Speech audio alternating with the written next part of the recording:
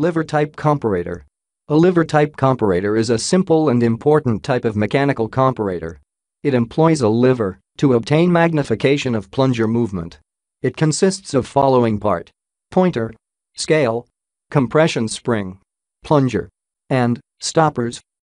Working of lever type comparator. This can be used in two way. First checking the surface variation of the part from the required dimension. That is to check the upper and lower limit of the given part. And second, to compare the given component with actual standard component present. In this video we will see both. First, a pile of slip gauges of standard dimension is placed on the surface plate below the plunger. What is surface plate? A surface plate is a solid, flat plate used as the main horizontal reference plane for precision inspection, making out and tooling setup.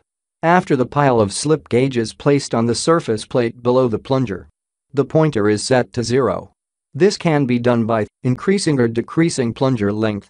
On the actual comparator, a provision such as adjusting screw will be provided. Now, place the component whose surface variation need to be checked on the surface plate below the plunger by removing the slip gauges and made to slide below the plunger.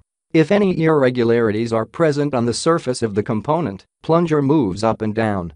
This plunger movements are magnified by the lever, which is pivoted at point O, and deflect the pointer on the graduated scale.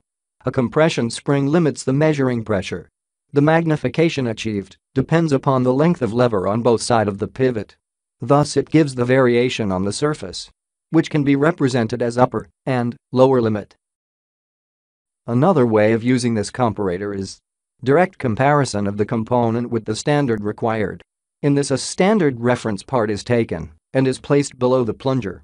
As we slide the standard below the plunger it will give a variation on the surface. This variations are noted down then the standard is removed and a component to be compared is kept and made to slide below the plunger. The variation shown by the plunger is noted down. Once both variations are noted down, the variations of the component is are compared with the variation of the standard. If the component variation are lesser than that of standard, the part is accepted or else it will be rejected.